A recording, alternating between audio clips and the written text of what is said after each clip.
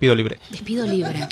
Sí. sí, sí, no, pero por supuesto, la indemnización por despido es lo peor que le puedes hacer a un empleado. ¿Por qué? Pero es lógico, es una barrera de entrada. Tú quieres un producto y quieres venderlo, ¿lo vas a poner más caro o más barato? No, ya. en España hay mucho paro. En España lo que quieres es que la gente entre al mercado laboral. ¿Cómo vas a poner dificultades para que la gente se incorpore al mercado laboral? Pero dos, ¿cuánta gente está en su trabajo porque ha acumulado una indemnización y no quiere dejarlo? Un montón. La gente se piensa que ese tipo de cosas le dan protección. Eso son unas esposas. Eso te esclaviza. Y luego además es que la gente pide más sueldo. Es que en España se cobra poco. Es que claro, es que tú quieres bacalao gordo y que pese poco. O sea, eh, claro que se cobra poco en España, pero ¿cómo no se va a cobrar poco? Si cada vez que contrato a alguien me estoy jugando el pescuezo. Una economía libre en la que la gente no tenga ninguna barrera para salir de la empresa, ni empresario ni empleado, eso es maravilloso. Los países nórdicos, Estados Unidos, hay muchísimo menos paro que en España. ¿Qué queremos? Y aún así la gente se queja de precariedad. ¿Precariedad de qué? Si vives en la sociedad más protegida de la historia de la humanidad. El problema es que estás en un país con tantas barreras de entrada, de acceso al empleo, que es imposible prosperar. Los mencionados países nórdicos que tienen muchísimas cosas horribles, que todo el mundo halaga, y tienen una cosa buenísima que nadie halaga, que es el